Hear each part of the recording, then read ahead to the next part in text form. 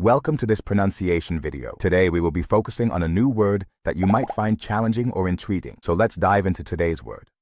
Tonto, which means Slang. Foolish or stupid, often as a term of address.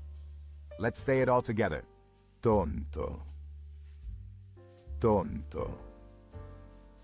Tonto. One more time. Tonto. Tonto.